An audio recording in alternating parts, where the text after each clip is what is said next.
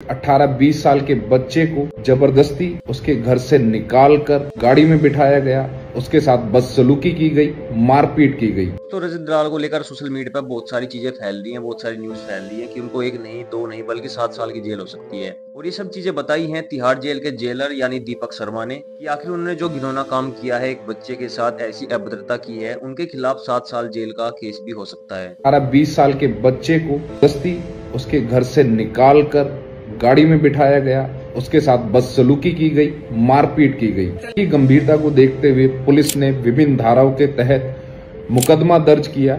IPC के section तीन सौ पैंसठ, दो सौ चौरानवे बी एक सौ चौदह, तीन सौ तेईस, पाँच सौ छह के तहत मुकदमा दर्ज किया गया, जिसमें सात साल तक की सजा के प्रावधान हैं।